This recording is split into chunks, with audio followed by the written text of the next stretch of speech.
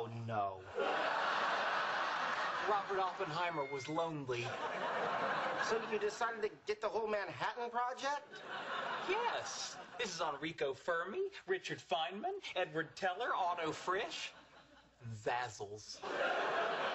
Zazzles. I was going to name him Hermann von Helmholtz, but he's so zazzy. Okay, we need to talk. About what? Cats, Sheldon. You're clearly upset about Amy being gone and you're trying to replace her with a bunch of cats. Clowder. What?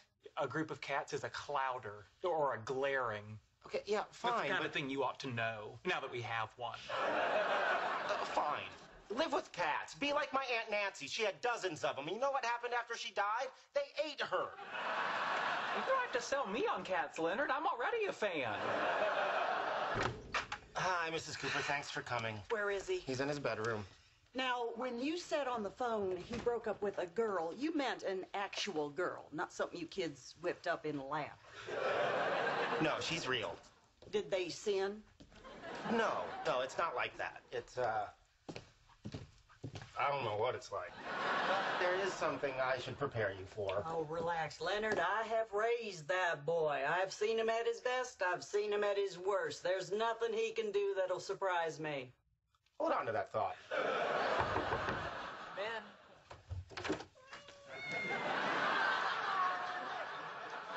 Surprise. Mom, what an unexpected pleasure.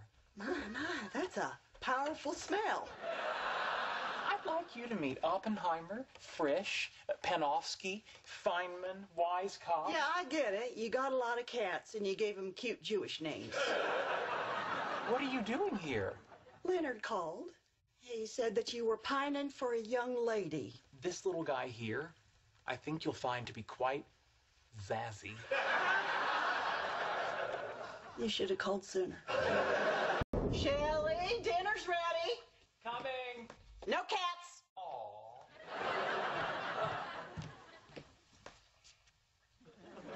What is she doing here? I called her. Your mother thinks you might be losing your mind over me. As a neurobiologist, I was curious. Well, rest assured, I am in full possession of my faculties. 25 cats!